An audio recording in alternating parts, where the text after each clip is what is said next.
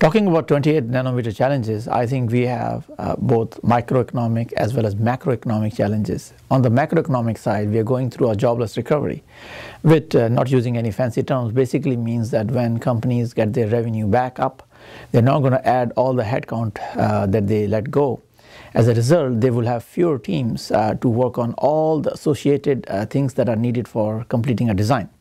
That means IP, that means supporting uh, so, uh, verification teams, architecture teams, and so on and so forth.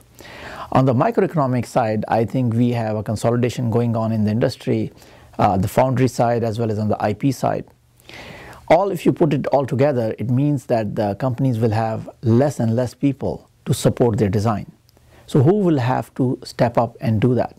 I think foundries will have to step up and do that. So in the next generation, 28 nanometers, I believe the foundries that will win are not only the ones which have the best technology at 28 nanometers, are also the best uh, ecosystem. Ecosystem is going to determine the success and the failure of the foundry and which is a major uh, uh, you know, departure from what has happened in the previous generations.